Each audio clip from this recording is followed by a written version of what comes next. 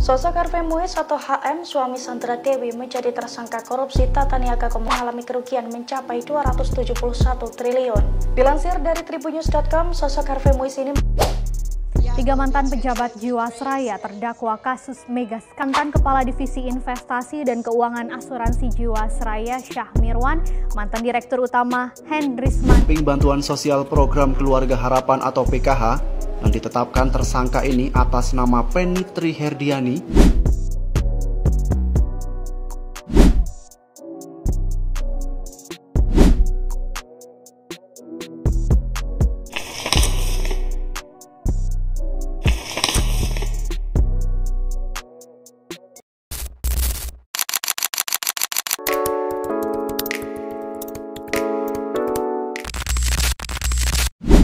Sering sekali kita mendengar kata kasus korupsi.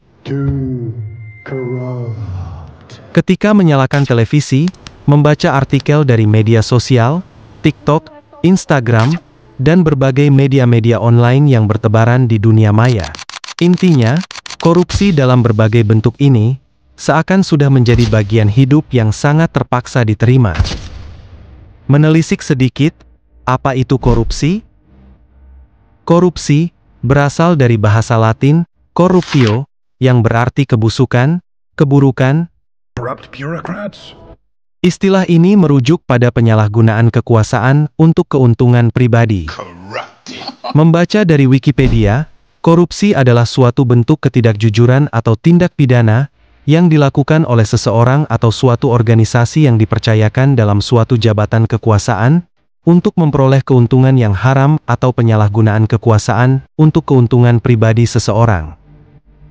Berkaca dari apa yang terjadi di Indonesia sendiri, korupsi bisa mencakup berbagai bentuk seperti suap, penggelapan, dan nepotisme.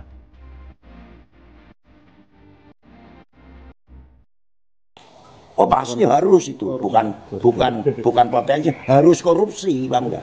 Ya ini enggak enggak enggak nggak lumrah sama sekali gitu bang enggak. Hmm. Kalau tadinya saya tahu gajinya segini jadi bupati saya nggak nyalon. Hmm. Demi Allah saya nggak nyalon itu. Jadi ngertinya saya antara 200 juta 150 juta. Hmm. Coba kita mundur jauh ke belakang, jauh sebelum Bung Karno memproklamasikan kemerdekaan Indonesia. Ternyata korupsi, budaya korupsi di Indonesia ini sudah ada sejak zaman kolonial Belanda. Banyak artikel yang telah menulis tentang para pejabat pribumi yang sudah melakukan tindakan keras ini. Upah yang seharusnya diberikan kepada para pekerja, mereka ambil untuk keinginan pribadi. Pada masa kolonial Belanda atau VOC, pemerintahan pernah dijalankan melalui sistem dualisme, yaitu pemerintahan kolonial Belanda dan pemerintahan pribumi.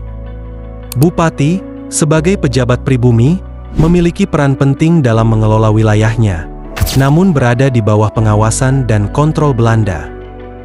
Posisi bupati yang strategis inilah yang sering kali disalahgunakan untuk kepentingan pribadi dan keuntungan materi. Banyak bupati pribumi pada masa itu yang terlibat dalam praktek korupsi.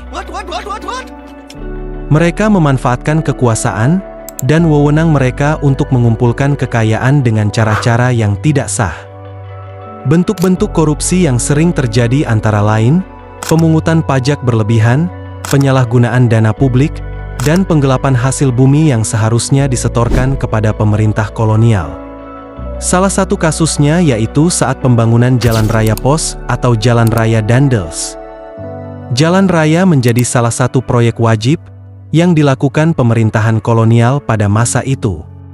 Karena untuk mempermudah distribusi rempah-rempah, persenjataan, dan lain sebagainya antar wilayah. Dibangunnya jalur Pantura, tidak lepas dari sejarah pembangunan jalan yang dilakukan oleh Gubernur Jenderal Hindia Belanda, Herman Willem Dandels. Pada tahun 1808, Dandels membangun jalan raya dari Anyer Panarukan. Dandels menyebut pembangunan jalan raya ini dengan The Groot Postweg atau Jalan Raya Pos.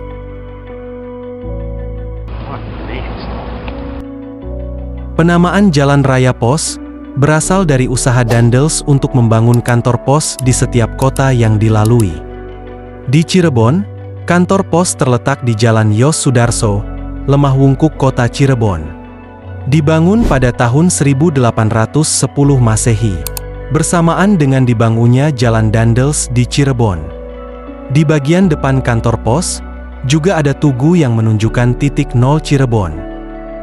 Menurut sejarawan Putra Lingga Pamungkas, Memang di setiap kota yang dilalui jalur Pantura, masing-masing akan ada kantor pos dan titik nol kilometernya. Oleh pemerintah kolonial kantor pos digunakan sebagai sarana komunikasi antar kota.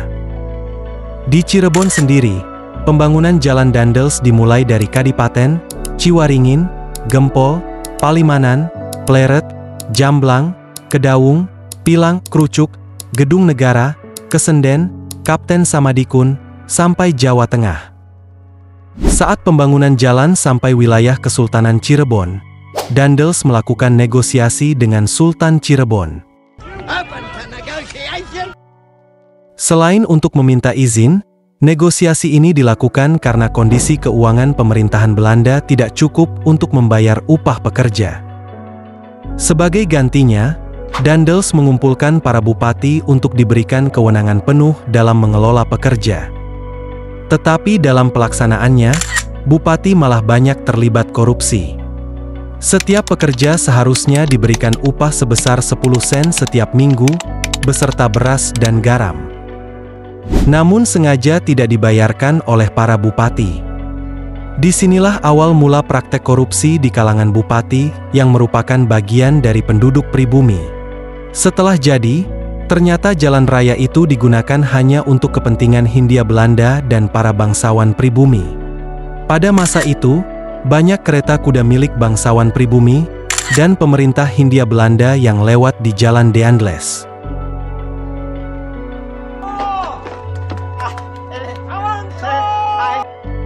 Penduduk pribumi baru dapat menikmati Jalan Dandels setelah keluar keputusan pemerintah kolonial nomor 4 tanggal 19 Agustus 1857.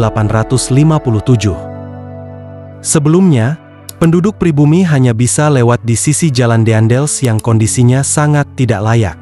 Jalan Raya Pos memiliki panjang sekitar 1000 km, yang terbentang dari Anyer Provinsi Banten hingga Panarukan di Jawa Timur. Lebar jalan 7,5 meter, di sebelah kanan dan kiri jalan dibuat selokan sebagai tempat air mengalir.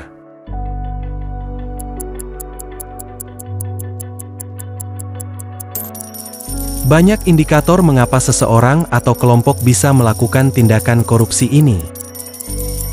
You greedy, greedy pig. Salah satu alasan utama adalah keserakahan atau keinginan untuk memiliki lebih dari yang dibutuhkan. Keserakahan ini sering kali didorong oleh kebutuhan material yang tidak pernah puas, seperti ingin memiliki rumah yang lebih besar, mobil yang lebih mewah, atau gaya hidup yang lebih tinggi. Ketika seseorang merasa bahwa gaji atau pendapatan mereka tidak cukup untuk memenuhi keinginan tersebut, mereka mungkin tergoda untuk melakukan korupsi. Di sisi lain, banyak pelaku korupsi yang berlindung di balik istilah pembenaran diri untuk menghilangkan rasa bersalah atau malu. Mereka berpikir bahwa apa yang mereka lakukan tidak seburuk itu dibandingkan dengan tindakan orang lain atau mereka merasa berhak mendapatkan lebih karena pekerjaan mereka yang berat dan penting. Pembenaran diri ini membantu mereka mengatasi konflik moral dan terus melakukan tindakan korupsi. Tekanan dari lingkungan sekitar, baik itu keluarga, teman, atau budaya tempat kerja, juga bisa menjadi alasan.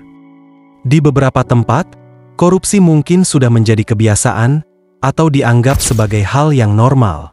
Jika seseorang merasa bahwa semua orang di sekitarnya melakukan hal yang sama, mereka mungkin merasa tergoda juga untuk ikut serta karena kenikmatan sesaat itu. Rasa tidak aman, baik secara finansial maupun secara karir, juga bisa mendorong seseorang untuk melakukan korupsi.